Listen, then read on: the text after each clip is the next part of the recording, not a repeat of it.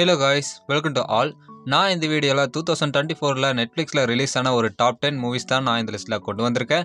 இந்த லிஸ்ட்டில் ஆட் பண்ணியிருக்க பத்து மூவிஸில் ஏதாவது மூவி நீங்கள் பார்க்காம இருந்தீங்கன்னா கண்டிப்பாக ட்ரை பண்ணி பாருங்கள் அண்ட் இந்த பத்து மூவிஸுமே நல்லா தான் இருக்குங்க கைஸ் பார்த்துட்டு உங்களுக்கு எந்த மூவி பிடிச்சிருக்கு அப்படின்னு சொல்லிட்டு கமெண்ட்டில் சொல்லிட்டு போங்க. அண்ட் இந்த வீடியோ உங்களுக்கு பிடிச்சதுன்னா மறக்காம ஒரு லைக் அண்ட் ஷேர் பண்ணிடுங்க இப்போ வாங்க நம்ம இந்த வீடியோவை டேரெக்டாக ஸ்டார்ட் பண்ணிடலாம். நம்ம லிஸ்ட்டில் டென்த்தாக என்ன மூவி இருக்குன்னா வேஜஸ் ஆஃப் ஃபியர் இந்த மூவி டூ தௌசண்ட் டுவெண்ட்டி ஃபோரில் ரிலீஸ் ஆயிருக்கு. இந்த மூவியோட ஸ்டோரி லைன் எப்படி இருக்குன்னா ஒரு டெசர்ட்டில் ஒரு ஆயில் கம்பெனி ஒன்று இருக்குது அந்த கம்பெனியில் இருக்கிற ஒரு எண்ணெய் கிணத்துல தீ பிடிச்சிருது. தீ பிடிச்சதுக்கப்புறம் அந்த தீயை அணைக்கணும்னா நைட்ரோகிளசரின் அப்படின்ற ஒரு கெமிக்கல் வேணும். அந்த கெமிக்கலை நம்ம ஹீரோ டீம் தான் எடுத்துகிட்டு வரக்காக போயிருக்காங்க. ஆனால் அந்த கெமிக்கலை பார்த்தீங்கன்னா இந்த கம்பெனிலேருந்து ஐநூறு கிலோமீட்டருக்கு அந்த பக்கம் இருக்கிற ஒரு இடத்துல இருந்து தான் அந்த கெமிக்கலை எடுத்துகிட்டு வர மாதிரி இருக்கும். இதை பார்த்தீங்கன்னா எப்படி நம்ம ஹீரோ டீம் அந்த பொறுப்பு எடுத்துகிட்டு அந்த நைட்ரோகிளசரின் அப்படின்ற கெமிக்கலை எடுத்துகிட்டு வராங்க? அது மட்டும் இல்லாமல் அந்த நைட்ரோகிளசரின் பார்த்தீங்கன்னா கொஞ்சம் கூட கிந்து கீழே சிந்தக்கூடாது. அப்படி சிந்துச்சுன்னா ஒரு ஊரையே அழிக்கிற அளவுக்கு ரொம்ப ஸ்ட்ராங்கானதாக இருக்கும். இந்த நிலமையில நம்ம ஹீரோ பார்த்தீங்கன்னா அதை எப்படி கரெக்டாக எடுத்துகிட்டு வந்து சேர்க்குறாரு அப்படின்றத இந்த மூவியோட மிச்ச ஸ்டோரியிலனா கிரியேட் பண்ணியிருப்பாங்க இந்த மூவி பார்த்தீங்கன்னா எழுபத்தஞ்சு வருஷத்துக்கு முன்னாடியே ரிலீஸ் ஆன ஒரு மூவியோட ஸ்டோரியை தான் திரும்பவும் ரீமேக் பண்ணி இந்த மூவியாக கிரியேட் பண்ணியிருப்பாங்க இந்த மூவி பார்த்தீங்கன்னா நல்லா தான் இருக்குங்க கைஸ் இந்த மூவி யாராவது பார்க்காம இருந்தீங்கன்னா கண்டிப்பாக ட்ரை பண்ணி பாருங்கள் நெட்ஃப்ளிக்ஸில் அவைலபிளாக தான் இருக்குது இந்த மூவிக்கு ஐஎன்டிப்லேருந்து ஃபோர் பாயிண்ட் சிக்ஸ் ரேட்டிங் கொடுத்துருக்காங்க. நம்ம லிஸ்ட்டில் நைன்த்தாக என்ன மூவி இருக்குன்னா அண்டர் பாரிஸ் இந்த மூவி டூ தௌசண்ட் டுவெண்ட்டி ஃபோரில் ரிலீஸ் ஆயிருக்கு. இந்த மூவியோட ஸ்டோரி லைன் எப்படி இருக்குன்னா இந்த மூவியோட ஆரம்பத்திலே நம்ம ஹீரோயின் அண்ட் அவங்களோட இன்னும் ஒரு சில மெம்பர்ஸ் பார்த்தீங்கன்னா சுறாமீனை பற்றி ரிசர்ச் பண்ணலாம் அப்படின்னு சொல்லிட்டு கடலுக்கு போகிறாங்க அங்கே சுறாமீன்களெல்லாம் பற்றி ரிசர்ச் பண்ணிட்டு தான் இருக்கிறாங்க. ஆனால் அந்த சமயத்தில் ஒரு சுறாமீன் பார்த்தீங்கன்னா இவங்களை அட்டாக் பண்ண ஆரம்பிக்குது. அதில் எல்லாருமே உயிர் இழந்துடுறாங்க. ஆனால் நம்ம ஹீரோயின் மட்டுமே எப்படியோ தப்பிச்சிடுறாங்க. இப்படி தப்பிச்சதுக்கப்புறம் கொஞ்சம் வருஷம் கழிச்சு தான் காட்டுறாங்க. பாரிஸில் ஒரு போட்டி ஒன்று ஆர்கனைஸ் பண்ணியிருக்காங்க. அந்த போட்டி எங்கே நடக்குதுன்னா இந்த சுறா மீன் எங்கே இருக்குதோ அதே இடத்துல தான் நடக்குது. இப்படி நடக்கும்போது நம்ம ஹீரோயின் இதை பார்த்துட்டு சும்மா இல்லாமல் இது எப்படியாவது தடுத்தாகணும். அந்த சுறா மீன் கிட்ட யாருமே பலியாகக்கூடாதுன்னு நினைக்கிறாங்க. இதுக்கப்புறம் இந்த மூவியில் என்னாச்சு அப்படின்றத இந்த மூவியோட மிச்ச ஸ்டோரியிலனா கிரியேட் பண்ணியிருப்பாங்க. இந்த மூவி பார்த்தீங்கன்னா அதிக பேர் விரும்பி பார்த்துருக்காங்க கைஸ் இந்த மூவி நீங்கள் இன்னும் பார்க்காம இருந்தீங்கன்னா கண்டிப்பாக ட்ரை பண்ணி பாருங்கள் இந்த மூவியோட ஆரம்பத்தில் வர அந்த சுறாமீன் அட்டாக் சீன்ஸ் எல்லாம் ரொம்பவே சூப்பராக கிரியேட் பண்ணியிருப்பாங்க. இந்த மூவியை மிஸ் பண்ணியிருந்தீங்கன்னா ட்ரை பண்ணி பாருங்க. அண்ட் இந்த மூவிக்கு ஐஎன்டிபிலேருந்து ஃபைவ் பாயிண்ட் டூ ரேட்டிங் கொடுத்துருக்காங்க. நம்ம லிஸ்ட்டில் எயித்தாக என்ன மூவி இருக்குன்னா ரெபுல் மூன் பார்ட் டூ இந்த மூவி டூ தௌசண்ட் டுவெண்ட்டி ஃபோரில் ரிலீஸ் ஆயிருந்தது. இந்த மூவியோட ஸ்டோரி லைன் எப்படி இருக்குன்னா இந்த மூவி ஃபர்ஸ்ட் பார்ட்டோட கண்டினியூட்டியாக தான் எடுத்திருப்பாங்க. ஃபர்ஸ்ட் பார்ட்டில் என்ன நடந்திருக்குன்னா மதர்லேண்ட் அப்படின்ற ஒரு பிளானட் இருந்திருக்கும். அந்த பிளானட்ல இருந்து ஒரு ஆர்மி ஒன்று கிளம்பியிருக்கும். அதாவது பக்கத்தில் இருக்கிற பிளானட்டெல்லாம் கேப்சர் பண்ணுறதுக்கு இப்படி கிளம்பின ஆர்மிக்கு ஒரு தளபதியும் இருப்பார். அவர் தான் பார்த்தீங்கன்னா அட்டிகஸ் நோபல் அப்படின்றவர். அந்த அட்டிகஸ் நோபலை நம்ம ஹீரோயின் ஃபர்ஸ்ட் பார்ட்டில் டிஃபீட் பண்ணியிருப்பாங்க. ஆனால் அவன் எப்படியோ செத்து இருக்க மாட்டான். திரும்பவும் செகண்ட் பார்ட்டில் உயிரோட வந்துடுவான் இப்படி உயிரோட வந்ததுக்கப்புறம் நம்ம ஹீரோயின் எந்த ஒரு பிளானட்டை ப்ரொடெக்ட் பண்ணுறதுக்காக இந்த தளபதியை எதிர்த்தாங்களோ அந்த பிளானட்டை அழிக்கணும் அப்படின்னு சொல்லிட்டு திரும்பவும் வர்றான். இப்படி இருக்கும்போது நம்ம ஹீரோயின் இருக்கிற பிளானட் அதாவது ஒரு ஃபார்மர் பிளானட்டாக இருக்கும். அந்த பிளானட்டை நம்ம ஹீரோயின் அண்ட் அவங்களோட டீம் எல்லாம் எப்படி சேர்ந்து காப்பாற்றுறாங்க அப்படின்றது தான் செகண்ட் பார்ட்டோட ஸ்டோரி லைனாக இருக்கும். அண்ட் இந்த மூவி நீங்கள் பார்க்குறதா இருந்தால் ஃபர்ஸ்ட் பார்ட்டை பார்த்துருக்கணும். ஃபர்ஸ்ட் பார்ட் பார்த்தீங்கன்னா இந்த மூவி செகண்ட் மூவி ரொம்பவே கிளியராக உங்களுக்கு புரியும். அண்ட் ஃபர்ஸ்ட் பார்ட்டை பார்க்காம பார்த்தீங்கனாலும் உங்களுக்கு புரியும் இருந்தாலும் அவ்வளோக்காக கிளியராக இருக்காது. ஆனால் இந்த மூவி நீங்கள் கண்டிப்பாக ட்ரை பண்ணி பாருங்கள் ஒரு வார் ஆக்ஷன் மூவி இந்த மூவிக்கு ஐஎன்டிபிலேருந்து ஃபைவ் பாயிண்ட் த்ரீ ரேட்டிங் கொடுத்துருக்காங்க. நம்ம லிஸ்ட்டில் செவன்த்தாக என்ன மூவி இருக்குன்னா லிஃப்ட் இந்த மூவி டூ தௌசண்ட் டுவெண்ட்டி ஃபோரில் ரிலீஸ் ஆயிருந்தது. இந்த மூவியோட ஸ்டோரி லைன் எப்படி இருக்குன்னா நம்ம ஹீரோ ஒரு பெரிய திருடனாக இருப்பார். அப்படி திருடனாக இருக்கும்போது நம்ம ஹீரோ கீழே ஒரு பெரிய டீமே இருக்கும். இந்த திருட்டு வேலைகளெல்லாம் பார்க்குறக்கு பார்க்கறக்கு எல்லாருமே ஒரு ஒரு இதில் ஸ்பெஷலிஸ்ட்டாக இருப்பாங்க. இப்படிப்பட்ட சமயத்தில் நம்ம ஹீரோ கிட்ட ஒரு பெரிய ஒரு அசைன்மெண்ட் ஒன்று வருது. லண்டன்லேருந்து கிளம்பக்கூடிய ஒரு பிளேட்டில் பத்து கிலோ தங்கம் இருக்கிறதாவும் அந்த தங்கத்தை எப்படியாவது நம்ம திருடி ஆகணும் அப்படின்னு சொல்லிட்டு நம்ம ஹீரோ அண்ட் நம்ம ஹீரோவோட டீம் கிளம்பிறங்குறாங்க இதுக்கப்புறம் நம்ம ஹீரோ பார்த்தீங்கன்னா அந்த தங்கத்தை எப்படி எடுக்கிறாரு அப்படி அந்த தங்கத்தை எடுக்க போகும்போது என்னென்ன ப்ராப்ளம்ஸ் எல்லாம் வருது அப்படின்றது தான் இந்த மூவியோட மிச்ச ஸ்டோரியில் நான் கிரியேட் பண்ணியிருப்பாங்க. இந்த மூவியும் பார்த்தீங்கன்னா ரொம்பவே நல்லா தான் இருக்குங்க நெட்ஃப்ளிக்ஸில் இந்த மூவி அவைலபிளாக இருக்குது பார்க்காம இருந்தீங்கன்னா கண்டிப்பாக ட்ரை பண்ணி பாருங்கள் இந்த மூவிக்கு ஐஎன்டிபிலேருந்து ஃபைவ் பாயிண்ட் ஃபைவ் ரேட்டிங் கொடுத்துருக்காங்க. நம்ம லிஸ்ட்டில் சிக்ஸ்த்தாக என்ன மூவி இருக்குன்னா அட்லஸ் இந்த மூவி டூ தௌசண்ட் டுவெண்ட்டி ஃபோரில் ரிலீஸ் ஆயிருக்கு. இந்த மூவியோட ஸ்டோர் லைன் எப்படி இருக்குன்னா இந்த மூவி ஃப்யூச்சரில் நடக்கிற மாதிரி நமக்கு காட்டியிருப்பாங்க. நம்ம ஹீரோயினான அட்லஸோட அம்மா பார்த்தீங்கன்னா ஒரு ஏஐ ரோபோட் ஒன்று உருவாக்கியிருப்பாங்க. அந்த ரோபோட் ஒரு கட்டத்துக்கு மேலே சுயமாக சிந்திச்சு இந்த மனித குலத்தையே அழிச்சாகணும் அப்படின்னு சொல்லிட்டு நிறைய ரோபோக்களை உருவாக்கி நம்ம மனிதர்களுக்கு எதிராக சண்டை போடுது. இப்படி சண்டை போடும்போது எப்படியோ நம்ம மனிதர்கள் பார்த்தீங்கன்னா அந்த ரோபோட்டெல்லாம் டிஃபெண்ட் பண்ணி அழிச்சிடுறாங்க. ஆனால் நம்ம ஹீரோயினோட அம்மா உருவாக்குனா அந்த ரோபோட் மட்டும் எப்படியோ தப்பிச்சிருது. தப்பிச்சு போய் வேற ஒரு பிளானட்டுக்கு போயிடுது இப்படி பிளானட்டுக்கு போனதுக்கப்புறம் அந்த ரோபோவை ட்ரேஸ் பண்ணுறது அப்படின்றது ரொம்பவே கஷ்டமாக இருக்குது.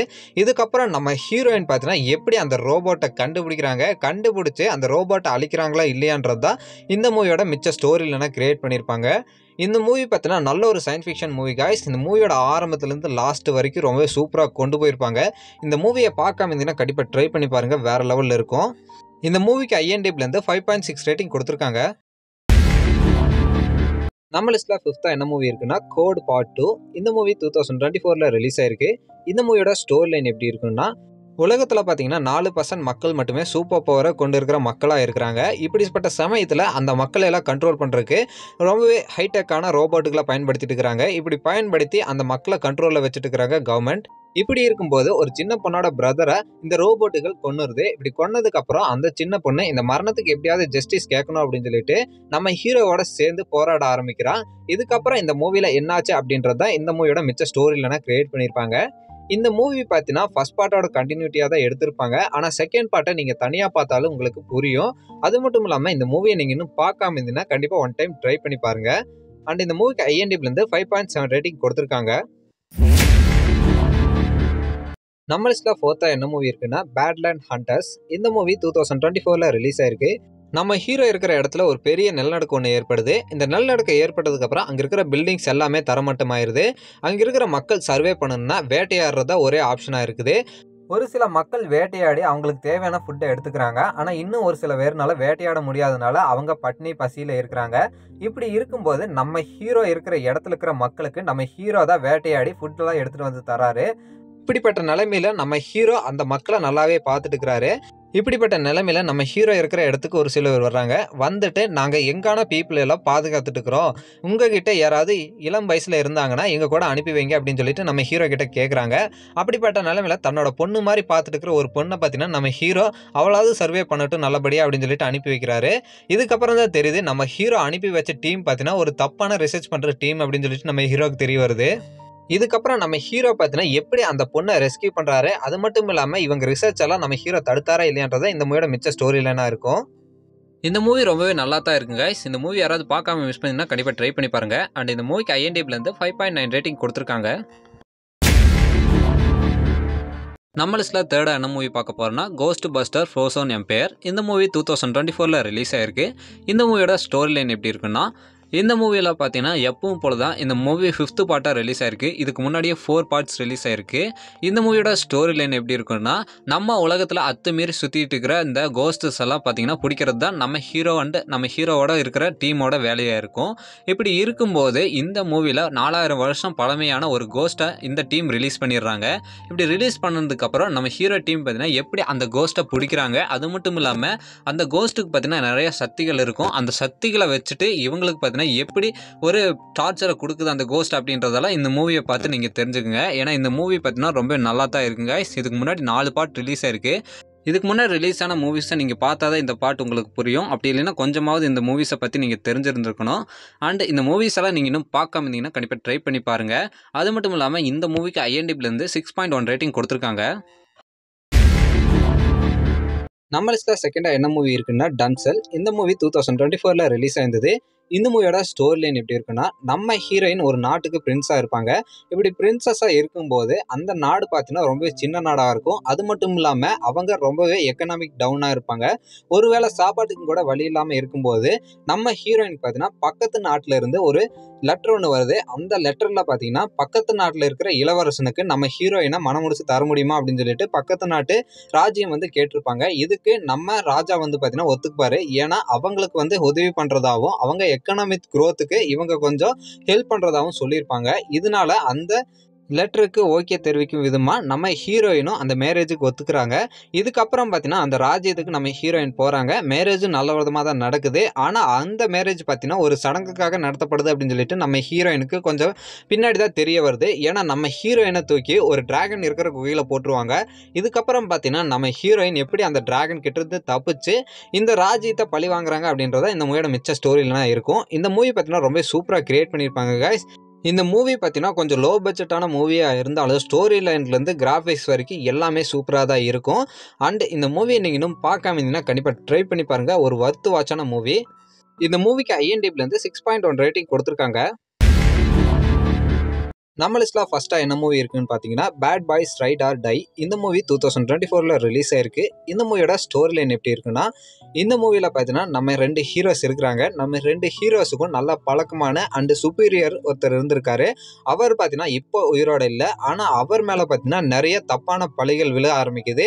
அதாவது வந்து பார்த்தீங்கன்னா அவர் நிறைய மணி லாண்ட்ரி பண்ணியிருக்கிறதாகவும் அவருக்கு நிறைய ட்ரக் டீலர்ஸோட கனெக்ஷன் இருக்கிறதாகவும் அப்படின்னு சொல்லிட்டு நிறைய பழிகள் பார்த்தீங்கன்னா அவர் மேலே விழுகுது. இப்போ உயிரோட இல்லாத அவர் மேலே இப்படி பழிகள் விழுகிறத பார்த்த நம்ம ரெண்டு ஹீரோஸும் பார்த்தீங்கன்னா இது எப்படியாவது இந்த முடிவுக்கு கொண்டு வரணும். அது மட்டும் இல்லாமல் இந்த பழிகள் எல்லாம் போகிறது யார் அப்படின்னு சொல்லிட்டு தெரிஞ்சுட்டு அவனுக்கு பார்த்தீங்கன்னா ஒரு முடிவு கட்டணும் அப்படின்னு நம்ம ஹீரோஸ் ரெண்டு பேருமே களத்தில் இறங்குறாங்க.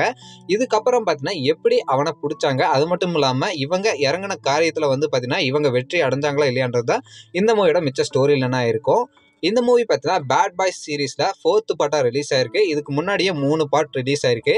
நைன்டி கிட்ஸாக இருந்தீங்கன்னா இந்த மூவிஸை நீங்கள் கண்டிப்பாக விரும்பி பார்த்துருப்பீங்க. ஏன்னா பேட் பாய்ஸ்னால் தெரியாமையே இருக்காது. அண்டு இந்த மூவிக்கு பார்த்தீங்கன்னா ஐஎன்டிப்லேருந்து சிக்ஸ் பாயிண்ட் ஃபோர் ரேட்டிங் கொடுத்துருக்காங்க.